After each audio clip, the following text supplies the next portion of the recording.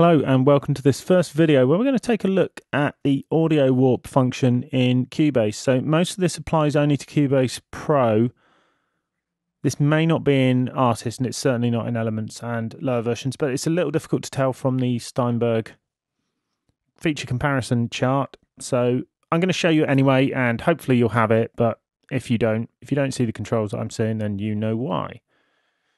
So here's the setup something straightforward as ever so you can see what's going on. So we've got two tracks here. The first one is a drum loop. And the second one is just a simple guitar part, which is played along in time with this pretty much, but there's a few little bits where the groove just isn't quite right. So.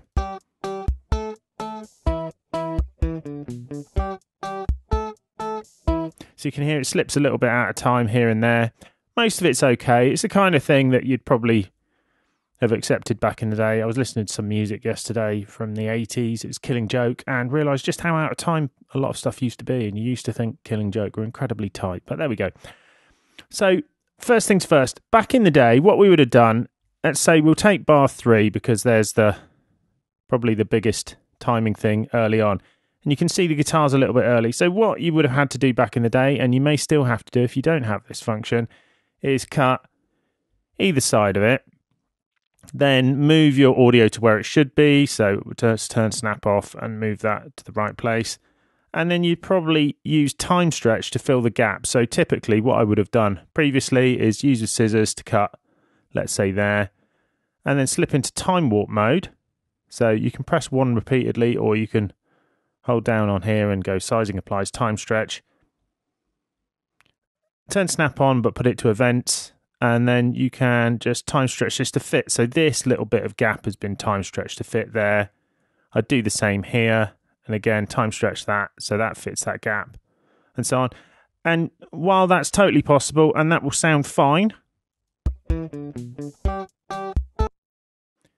it's it's a bit long-winded, and it used to take a long time to do that, but you don't have to do that anymore. So I'm going to stick that all back together going back to the normal mode and then open this up in the editor. So I'm going to stay in the bottom half of here rather than open it up in a separate window, just for a bit of clarity. And it's the audio warp section we're going to take a look at today. So this means you can just literally just grab audio and move it around. Now, there is a caveat to that is that it will just stretch between by default the beginning and end of the event. So if I grab hold of bar 3 and move it, you can see the audio before is being stretched out and the audio after is being compressed. We can just undo that easily enough. So if you've got parts you are feeling in time, so for instance, let's go to bar four and look at that. I think that's pretty in time, so I'm going to hold that in place. The way to do it is just click with the warp marker, leave that there.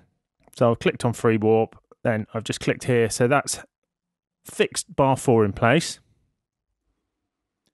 And then let's go and have a look at bar two. It's a little bit before, but I'm happy with that. So I'm going to fix that.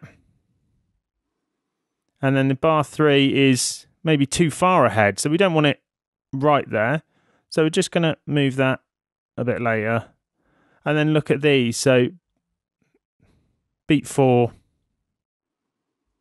Again, maybe a little early. Beat three now needs to move earlier. But you can see it's doing all the stretching, all of the effectively all the cutting and stretching that I was doing earlier on, it's doing it all automatically. So it's just applying time stretch to each segment. And now.